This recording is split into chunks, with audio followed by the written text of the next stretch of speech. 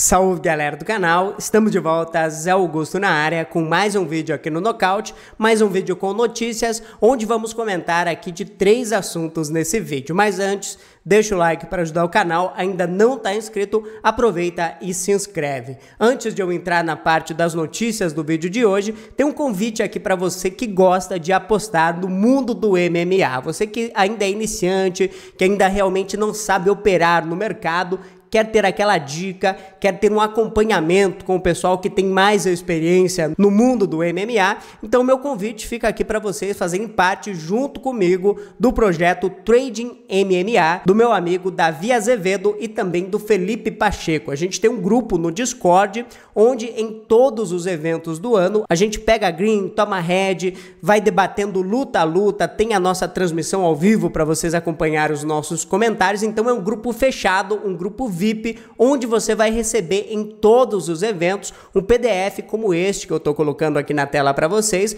onde vocês vão receber a dica da entrada perfeita para cada luta. Para as 12, 13 lutas de cada evento, sempre vai ter um palpite ali, vai ter aquela dica para vocês operarem dentro dos eventos do UFC e ter uma assertividade, ter a chance realmente de conseguir bons ganhos no mundo do MMA. Então, quer fazer parte do projeto Trading MMA, operar junto comigo, junto com o Davi Azevedo e com o Felipe Pacheco, clica aqui no primeiro comentário fixado, clica aqui, conheça os planos, assinem, virem membros aqui do MMA Trading e venham operar junto com a gente aqui durante os eventos do UFC. Vale muito a pena, então clica no primeiro comentário aqui embaixo e confira, tá bom?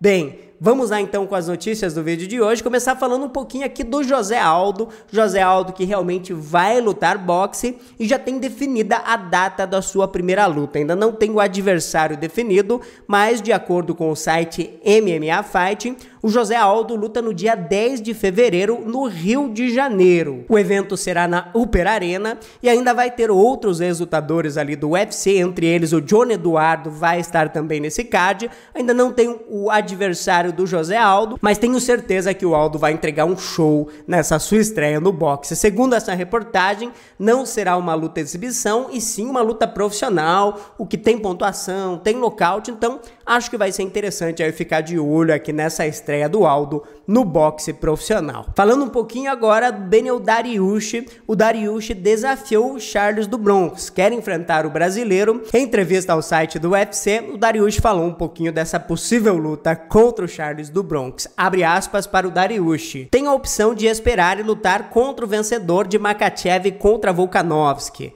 Mas se Volkanovski vencer e defender o cinturão dos penas, vou ter que esperar um ano. Acho que não tem ninguém que pode pular na minha frente agora, mas meu trabalho é ganhar lutas. Então vou lutar contra Charles ou Poirier. Março é uma boa data. Eu gosto de lutar e fico entediado sem lutar. Esse é meu trabalho. Não é sobre dinheiro ou a garantia de disputar o cinturão.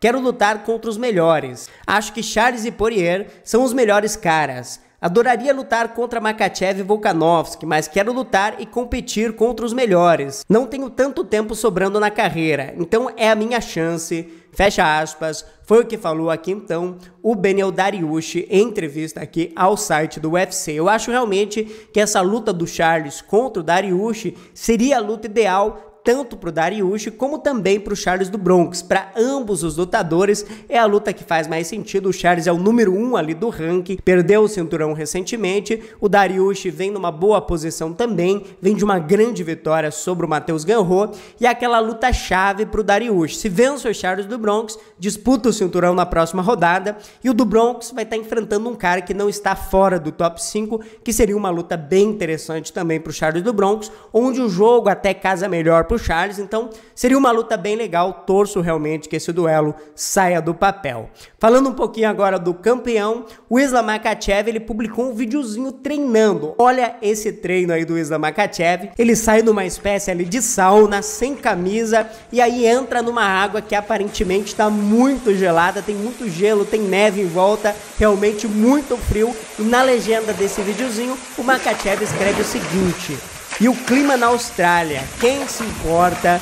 foi o que colocou aqui o Islam Makachev, que realmente eles têm os métodos de treinamento ali na Rússia que são bizarros. Esse treino no gelo aqui a gente sabe que eles fazem muito lá na Rússia e o Makachev está se preparando da melhor maneira para enfrentar o Volkanovski. Falando um pouco também aqui do Hanzat Timaev, ele publicou essa foto. Olha o tamanho que o Hanzat Kimaev está. A possibilidade dele lutar contra o Kobe Covington em março, depois de ver essa foto dele, na minha opinião, esquece. Ele não consegue é, cortar esse peso todo. Ele está muito grande, poderia até lutar de meio pesado pelo tamanho que ele está aqui na foto. Então a chance dele enfrentar um peso médio na próxima rodada, na minha opinião, aumenta e aumenta bastante depois de ver o tamanho que o Hanzat Chimaev se encontra nesse momento. Comenta as notícias do vídeo de hoje aqui embaixo, deixa o like para ajudar o canal, conheça o projeto Trade MMA clicando no primeiro comentário aqui embaixo, tá bom? Grande abraço a todos, até a próxima, tchau, tchau e fui!